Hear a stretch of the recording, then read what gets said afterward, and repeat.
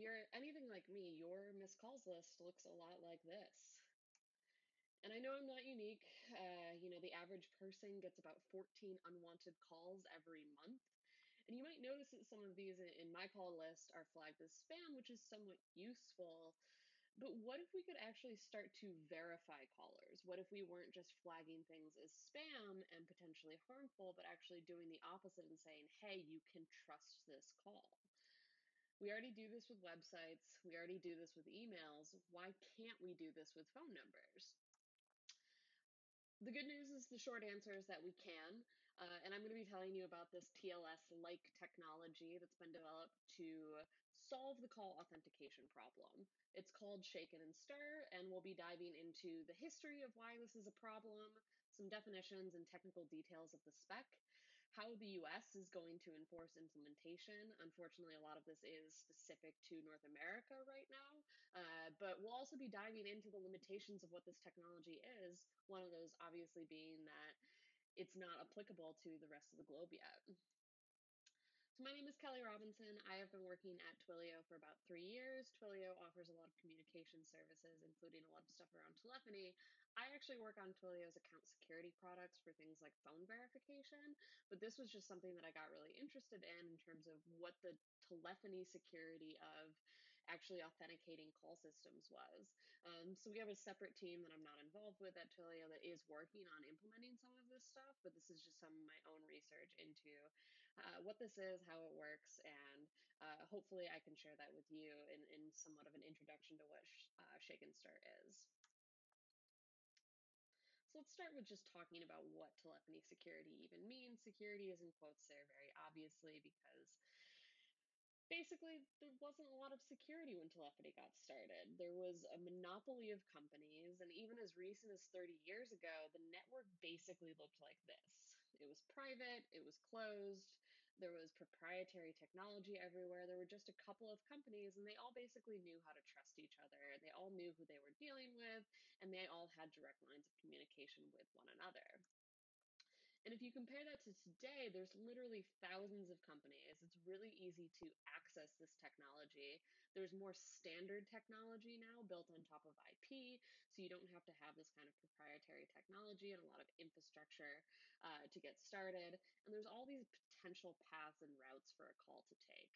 And you can think of the difference in accessing the telephony network like you would in deploying a website today. So this is like kind of the difference between having your own on-prem hardware, your own servers that you're running, uh, versus today you can use something like AWS to get up and running very quickly.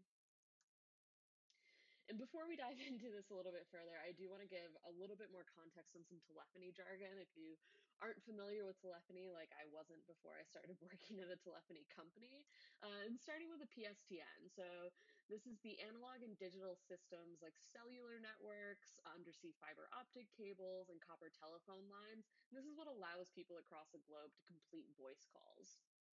Something that you might have heard of before is VoIP, and this is the Voice over Internet Protocol. This is what a lot of mobile and inf- mobile infrastructure and businesses are actually using now, uh, and so this is what people are moving towards. This is kind of the standard technology that people have more access to now, uh, but it can also interact with the PSTN. Uh, and then finally, SIP is a way to initiate IP phone calls and other communications. And you can kind of think of it like an HTTP request for phone calls. It contains metadata and instructions about where a call is both coming from, who it's going to, and some other data about what the call should be. Um, and the important thing to note here is that shaken and stir will only apply to SIP initiated phone calls. And so let's kind of talk about what the problem is here. And I specifically frame this as unwanted robocalls because not all robocalls are bad.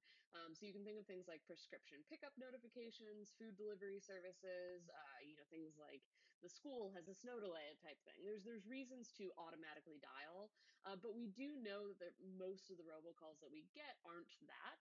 Uh, they're spam and that's bad. And so we wanted to focus on like the the greater problem of the unwanted robocalls here. And the reason this is a problem, it's gotten super common in the last five to 10 years uh, for a few main reasons. First, there's a lot of cheap dialers now. It's really easy to do this automated dialing in an efficient way that actually makes spam and fraud more uh, both efficient but also profitable. Uh, and second, there's over 4,000 service providers in the US alone, and that makes it easier to access and also gives you more access uh, options to access the PSTN.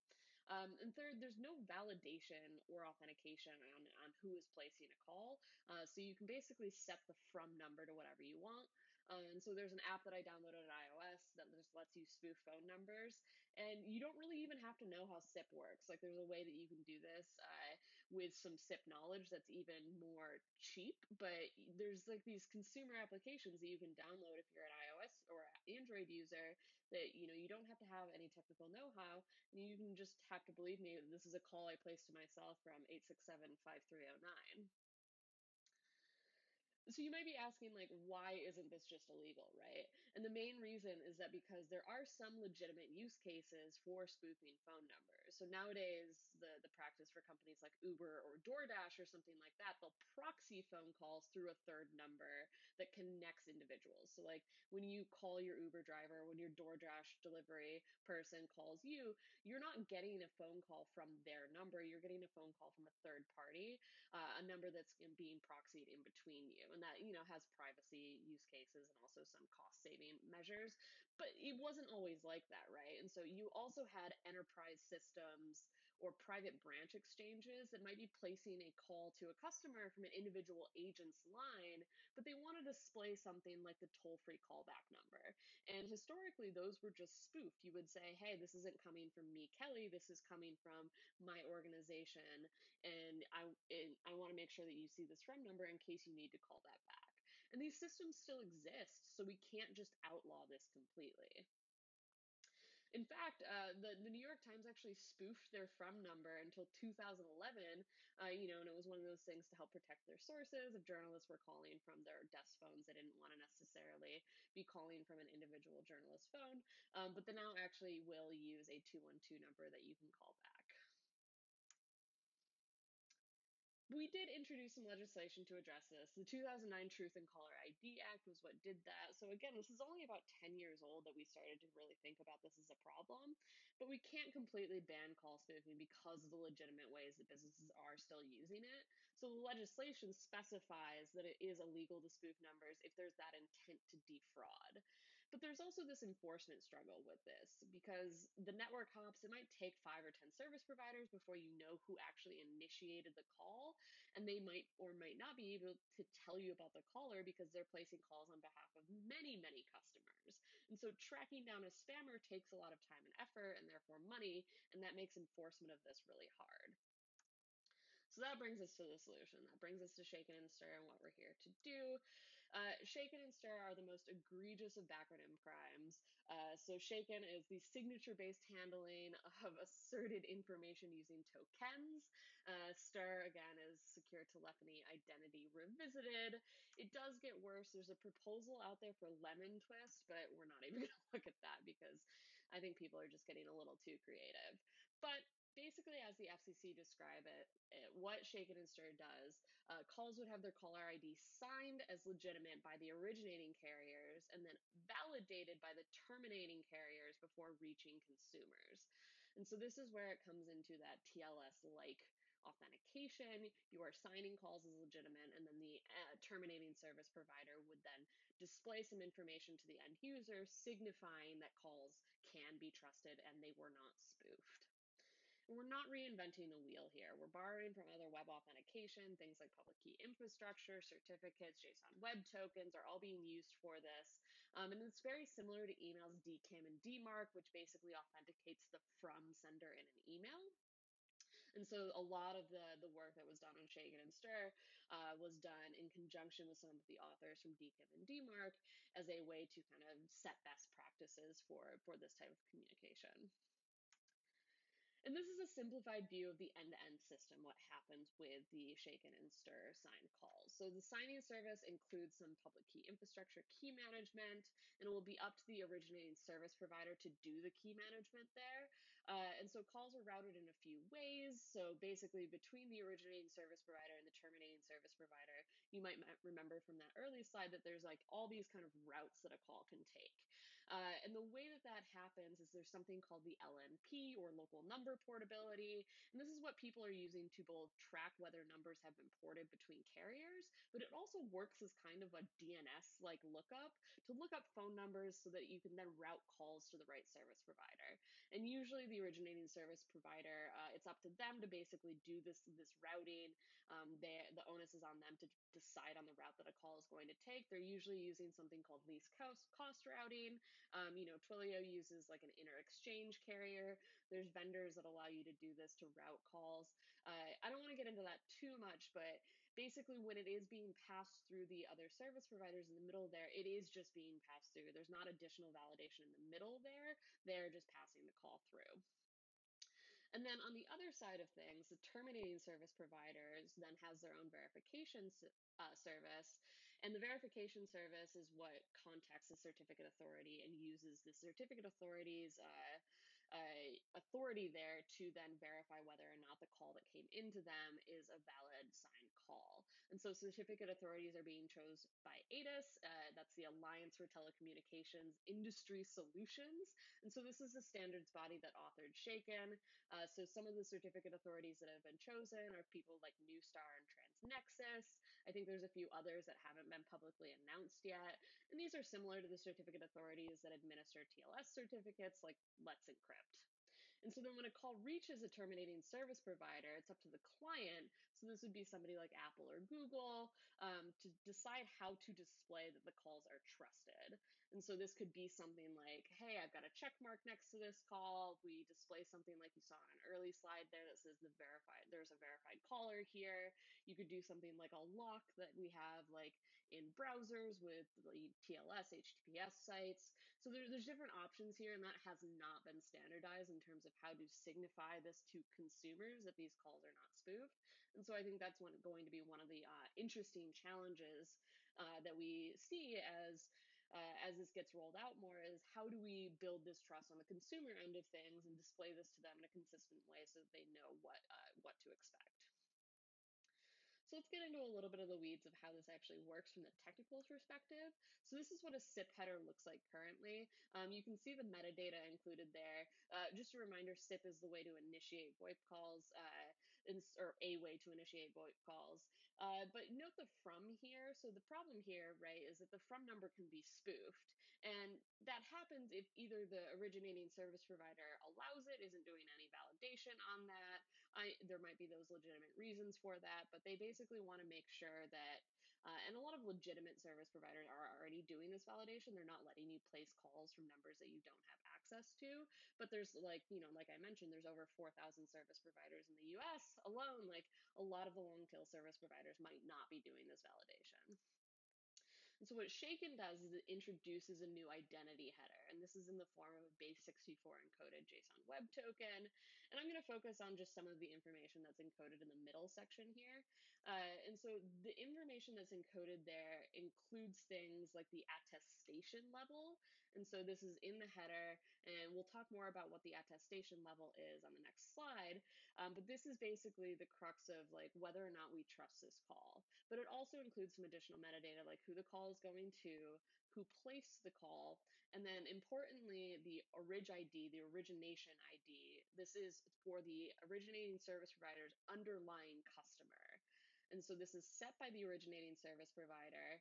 And so the originating service provider, the OSP there, is really putting their reputation on the line, saying, hey, this is my customer that is placing this call, and I'm giving them this level of attestation.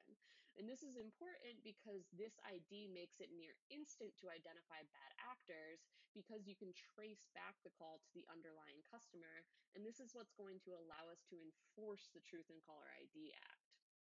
And so not only does Shaken allow you to build trust in uh, calls that aren't spoofed, but it also allows a lot of the enforcement side of things to make sure that we can track down bad actors more quickly uh, and more efficiently.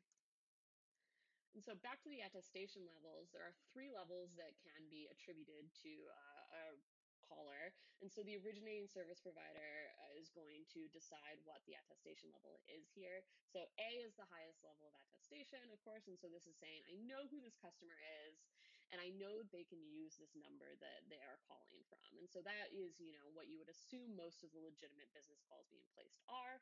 Um, attestation levels B and C have some less level of trust in the call, but this is still likely to be uh, a less fraudulent call if it's signed with any of these attestation levels than if it wasn't signed at all.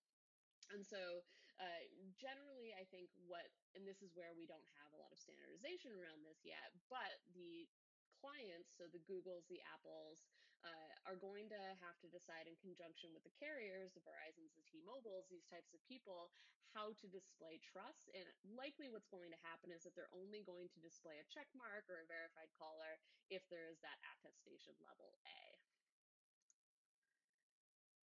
So new technology is really great, but we need to make sure that people are actually implementing this. And so one of the things that is good about this is it puts the onus on businesses to do the implementation and not as much on the consumers to, you know, increase consumer protections. But the main way that we're going to ins- ensure that businesses implement this is with the Traced Act. And so this is the Telephone Robocall Abuse Criminal Enforcement Deterrence Act.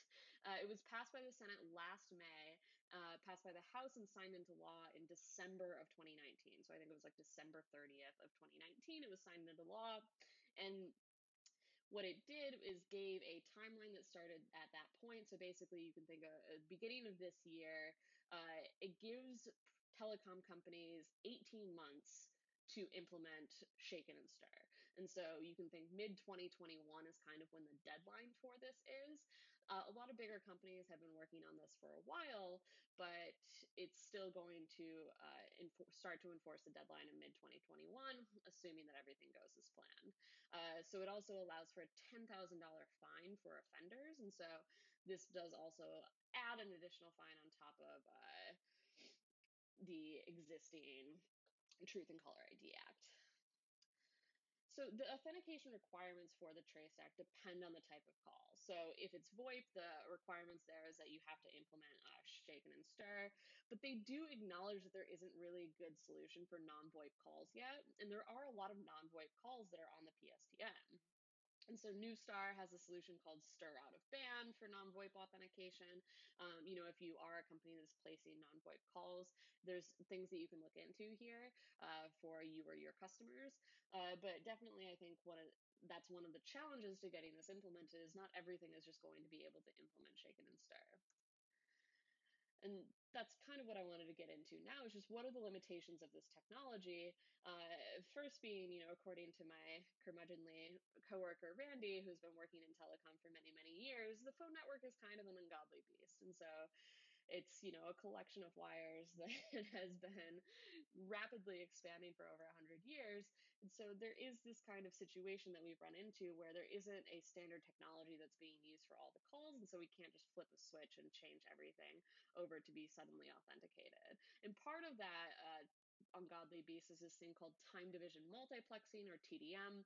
This is essentially the opposite of VoIP. It's old school hardware that's been around for 50 years It's baked into a lot of enterprise private networks. And the Traced Act explicitly acknowledges TDM as a potential burden to implementing Shaken and Stir. So they said that the burdens are barriers to the implementation, including for providers of voice service to the extent the networks of such providers use time division multiplexing. Fancy language in the bill that basically says, we get it, this might be hard for people that aren't using VoIP.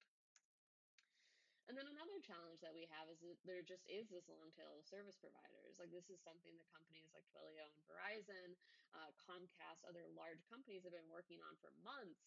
What happens when you're a smaller scale service provider that's running, you know, limited uh, infrastructure? You might have uh, different access points to the PSTN that aren't going to be VoIP, like I said. And so, you know, of the 4,000 service providers in the US alone, I don't know what percentage of those is going to be compliant by mid 2021. Uh, so the requirements to uh, to comply with this law, it does require significant investment. And I don't know if we can reasonably expect that everybody will be able to make that investment in time.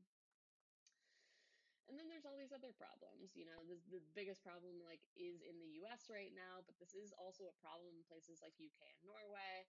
Uh, and I haven't really heard of any initiatives outside of North America to address this. There are starting to be, uh, you know, some initiatives to implement this in Canada, but I, you know, and maybe this is something that if your country has a solution for this, definitely reach out. I'd love to hear about what you're doing for enforcement there.